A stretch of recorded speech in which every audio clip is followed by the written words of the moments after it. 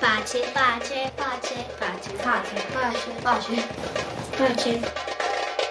Dove non c'è giustizia non c'è pace. È questo l'evento promosso dalla Fondazione Fabbrica della Pace per celebrare la giornata internazionale della giustizia sociale, indetta dall'ONU e in programma domani. I bambini sono veramente i nuovi cittadini e loro, e se avete notato, prendevano persino appunti, sono quelli che daranno energia a questo mondo e noi lavoriamo per loro in primis e per le loro famiglie e contiamo molto sulla scuola. Oggi costruire una giustizia sociale è difficile ma ci dobbiamo provare, lo dobbiamo fare partendo dalla tutela dei diritti dei fanciulli, aiutando i nostri ragazzi a conoscere, a conoscere le potenzialità che dà la vita, l'amore per la vita e quanto sia bello però aiutare gli altri. Per quasi tre ore i ragazzi della Casa Famiglia di Borgo Amigò e gli studenti che hanno partecipato al progetto Viva le scuole animate hanno interrogato magistrati, politici, artisti ed esperti d'infanzia sul rapporto che deve intercorrere tra grandi e piccoli affinché l'uguaglianza sostanziale proclamata dalla Costituzione Costituzione italiana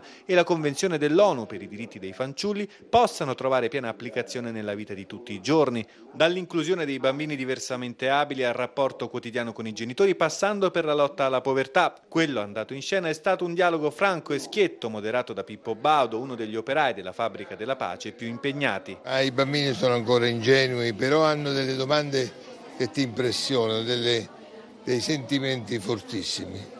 Bisogna essere ottimisti, guardando questi ragazzi alla fine torni a casa e sei più felice. I bambini saranno gli adulti di domani, sono i cittadini di domani.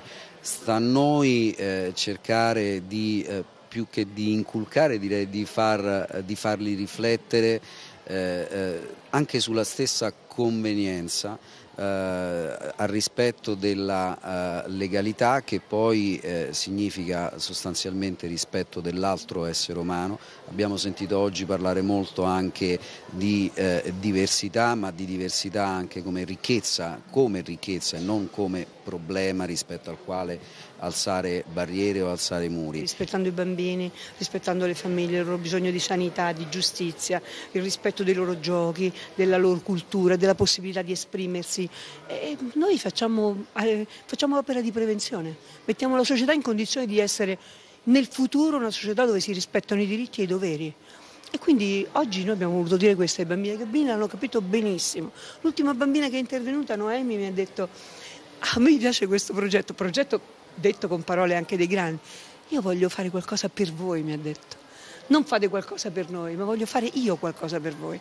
Cioè i bambini, se ascoltati, possono fare qualcosa per noi, non solo noi per loro, ma loro per noi.